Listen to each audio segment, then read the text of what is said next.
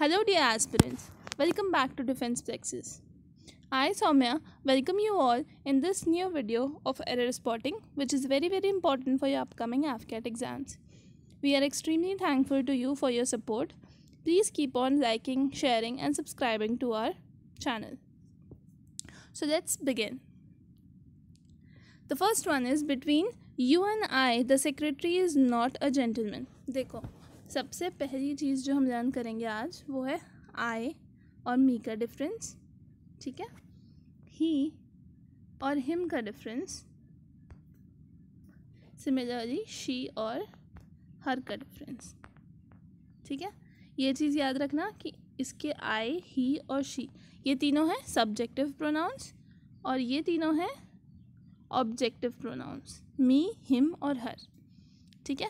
मतलब as a subject अगर वो चीज़ यूज़ हो रही है तो आई ही और शी आएगा अगर सेंटेंस उसके बारे में, ठीक है? अगर वो सिर्फ़ एज एन ऑब्जेक्ट काम कर रहे हैं, यानी एक्शन रिसीव कर रहे हैं सिर्फ़, तब मी हिम और हर आएगा, ठीक है? फ़र्स्ट सेंटेंस देखते हैं। Between you and I the secretary is not a gentleman अब इसमें देखो सेंटेंस का मेन फोकस ये है the secretary is not a gentleman ठीक है? सब्जेक्ट ये है और you and between you and I ये जस्ट एक हेल्पिंग पार्ट की तरह यूज़ हुआ। तो आई यहाँ पे सब्जेक्ट का रोल नहीं प्ले कर रहा है, इसलिए यहाँ पे इसकी ऑब्जेक्टिव फॉर्म आएगी सब्जेक्टिव नहीं। ठीक है? तो इसका यहाँ पे आएगा बिटवीन यू एंड मी ठीक है? क्योंकि ये यहाँ पे सब्जेक्ट का रोल नहीं प्ले कर रहा है। Okay second one you should do your duty honestly and sincerely यहाँ पे देखो यूज़ हुआ है वन और यहाँ पे आया योर ड्यूटी ये तो नहीं हो सकता। अगर यहाँ पे यू होता है तो योर ठीक था, पर यहाँ पे वन है तो होगा one should do one's duty honestly and sincerely. Okay, coming to third one, good students like you and he should study regularly. Good students like you and he. यहाँ पे क्या कर देते देखो, सेंटेंस मेजरली बात कर रहा है गुड स्टूडेंट्स की, ठीक है? Should study regularly. तो अभी देखो ये सेंटेंस को अगर हमें करेक्ट बनाना है तो ही के साथ ये इनकरेक्ट है।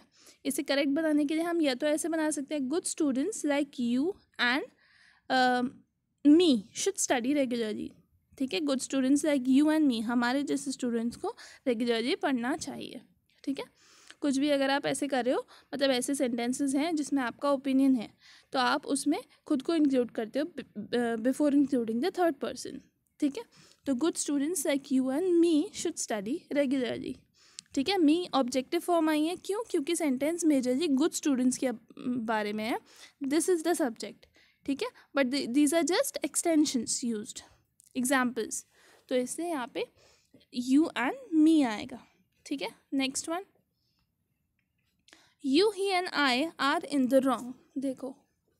Another very very important thing is one two three rule ठीक है? And two three one rule ये दो बहुत बहुत ज़्यादा इंपॉर्टेंट रूल्स हैं प्रोनाउंस के, ठीक है?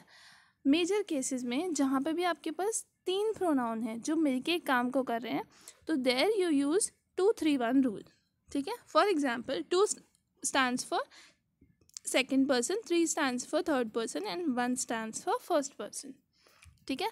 जैसे मान लो तीन जने आप मैं और रोहन, ठीक है? तो सेंटेंस कैसे बनेगा?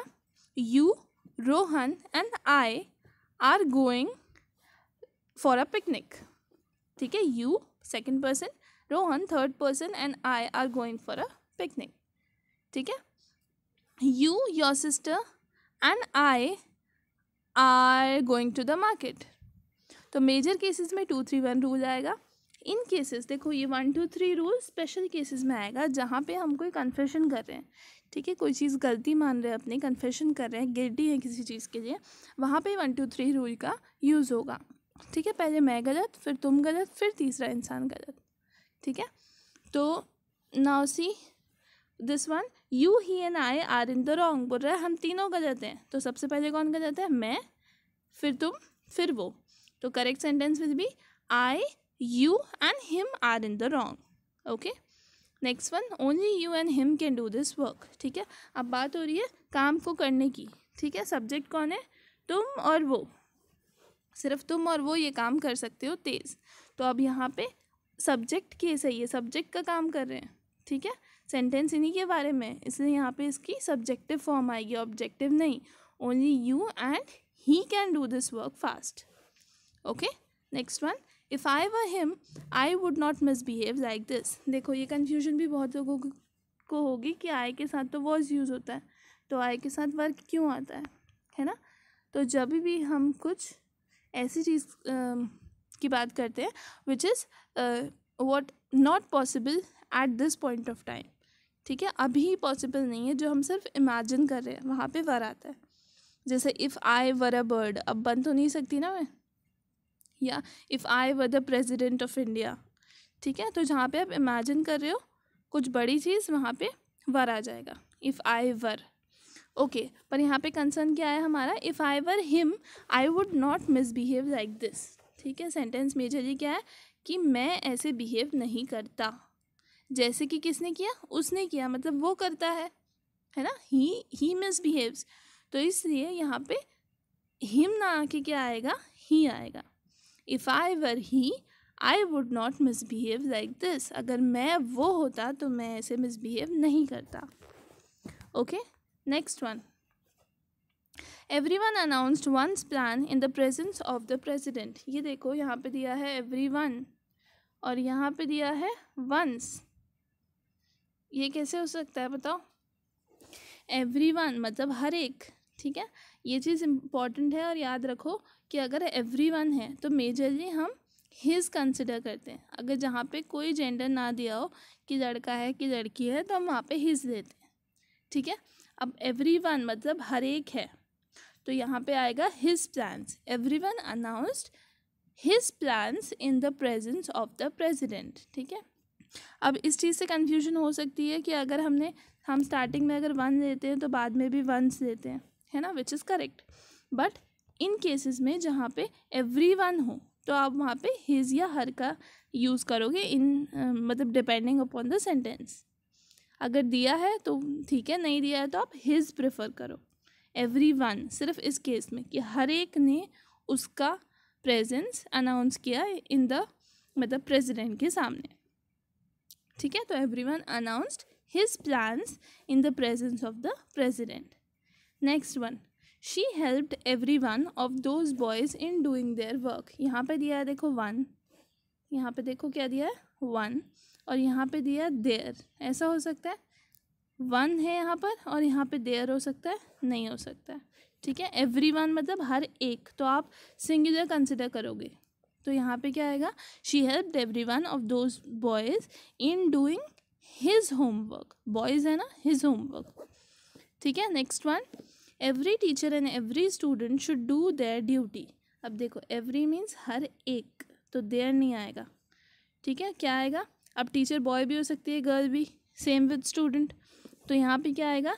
Every teacher and every student should do his और हर ड्यूटी ठीक है? Next one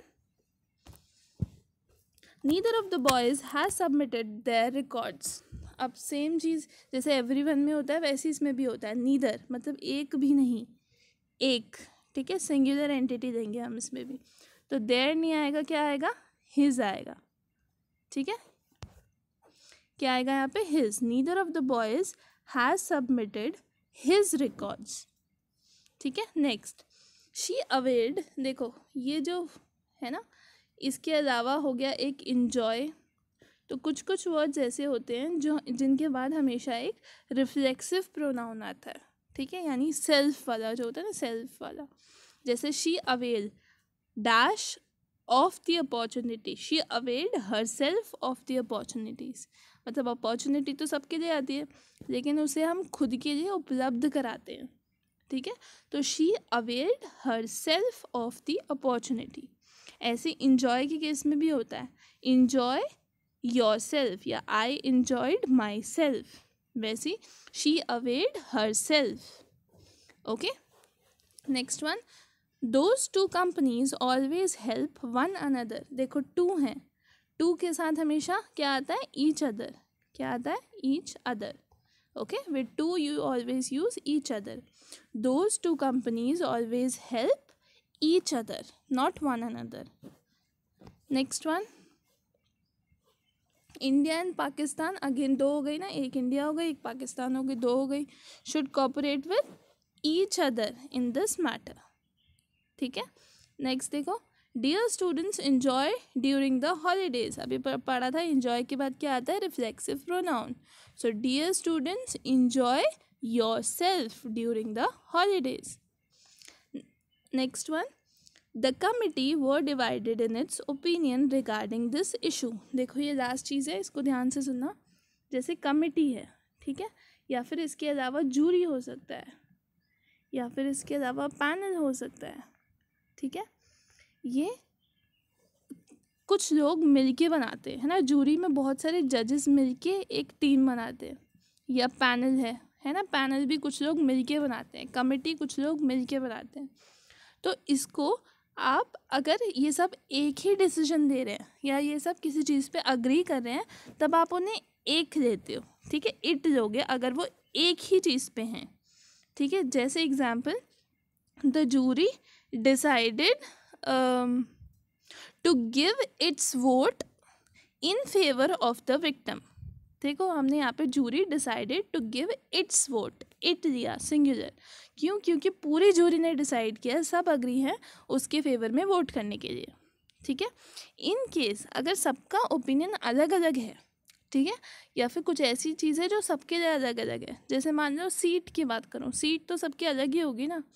तो अगर मैं इसे कहीं पे लिखूँ तो मैं लिखूँगी the jury took their seats यहाँ पे इट नहीं लूँगी देयर लूँगी प्लूरल क्यों? क्योंकि सीट्स सबकी अलग अलग है।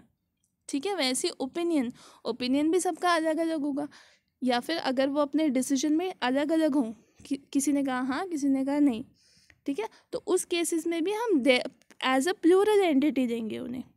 सिर्फ़ उन केसेस में जब वो सब अग्री कर रहे हैं किसी एक चीज़ से तब हम उन्हें एक सिंगुलर एंटिटी देंगे। ठीक है? तो the committee were divided in its opinion regarding this issue सबके ओपिनियंस जो है अलग अलग थे। इसलिए यहाँ उनको सिंगल नहीं देंगे। इट्स नहीं आएगा यहाँ पे। क्या आएगा? Their their opinion the committee were divided in their opinion regarding this issue अगर एक यूनानिमस डिसीज़न आ रहा होता, तब यहाँ पे इट्स आता। ठीक है? ओके आई होप ये सारे आपको क्लियर हो गए। अगर किसी में कोई भी डाउट है तो आप मुझे कमेंट बॉक्स में लिख के बता दो। I try to make it more clear okay? And please comment down and let me know if you need some other videos related to this topic. And if you have learned anything out of this video please keep on supporting us keep on motivating us. Share this with your friends and keep subscribing to our channel okay? And sharing it with your friends so that we all can grow together as a community. Thank you so much